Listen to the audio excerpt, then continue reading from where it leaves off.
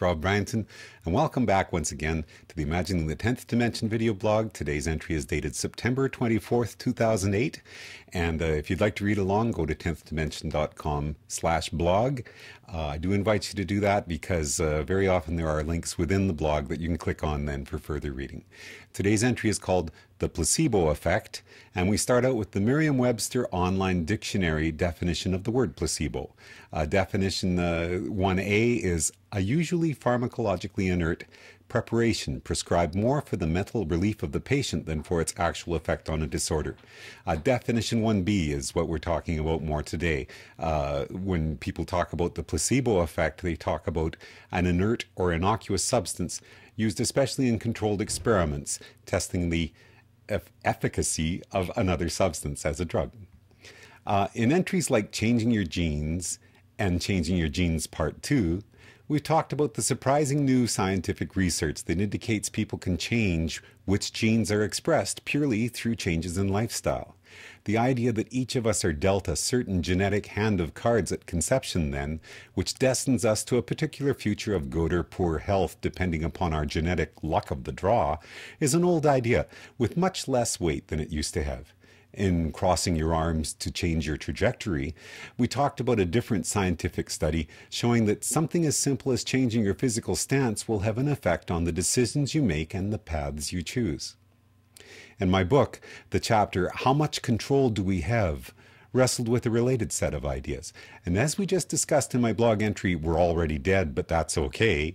Even if we do have a surprising amount of control, there are still a combination of factors that cause us to have one life or another from out of the bush-like branching structure of possible futures that extends out for each of us from our current now. It's a balance, balancing act as we live out a life where each of us have free will, but are also affected by a certain amount of randomness in the actions that have come before. There was an interesting article by Michael Brooks in the August 23rd issue of New Scientist magazine about the power of the placebo effect, which, is, which discusses research being conducted by doctors Luana Colloca and Fabrizio Benedetti of the University of Turin in Italy. Here are some excerpts from that article. Benedetti and others are now claiming that the true nature of placebo is far more complex. The placebo effect, it turns out, can lead us on a merry dance. Drug trials, Benedetti says, are particularly problematic. An ineffective drug can be better than a placebo in a standard trial, says Benedetti. And the opposite can also be true, as Ted Kaptchuk of Harvard Medical School in Boston points out. Often an active drug is not better than placebo in a standard trial, even when we can be confident that the active drug does work, he says. Some researchers are so taken aback by the results of these studies that they are calling for the very term placebo to be scrapped. Others suggest the latest findings undermine the very foundations of evidence based medicine.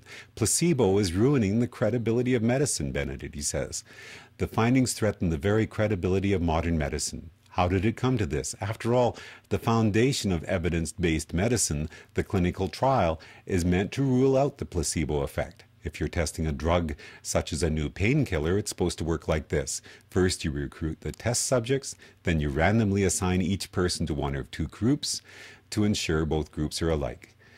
One group gets the painkiller, the other gets a dummy treatment. Then you might think, all you have to do is compare the two groups. It's not that simple though, because this is where the placebo problem kicks in. If people getting an experimental painkiller expect it to work, it will work to some extent. If the control group know they're getting a dummy pill, whereas the other group know they're getting the real drug, the experimental painkiller might appear to work better than the dummy, when in fact, the difference between the groups is entirely due to the placebo effect, so it's crucial not to tell the subjects what they're getting. Those running the trial should not know either, so they cannot give anything away, creating the gold standard of clinical trials, the double-blind, randomized controlled trial.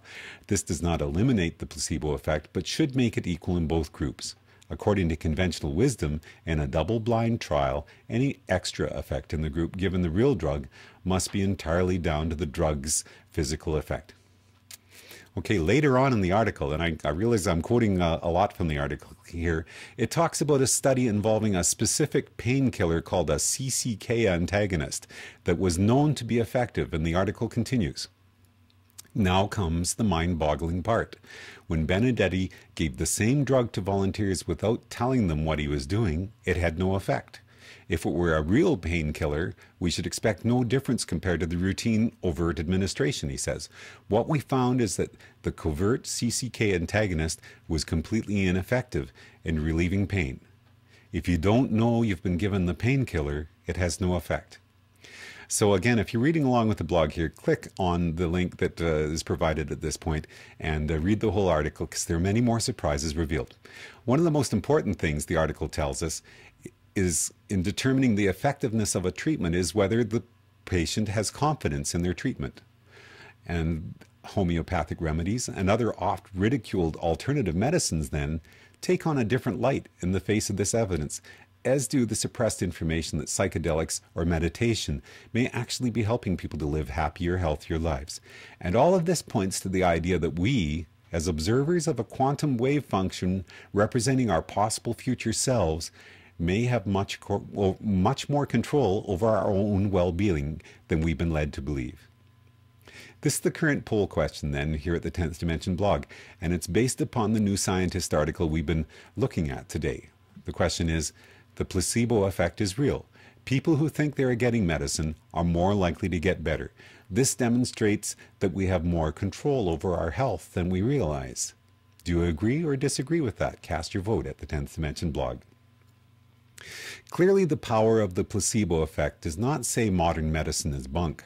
What it does say, though, is that a doctor or caregiver who has the confidence and trust of their patients is going to be more successful in helping those people find their way to good health. And that's an inspiring, scientifically proven fact. Finally, for fun, here's one of the 26 songs attached to this project, and it's about the conundrum of how much control we have as we move one plank frame after another through the bush-like branching structure of possible futures. It's called Making It Up As I Go. Uh, my name's Rob Bryanton from Imagining the 10th Dimension. Enjoy the journey.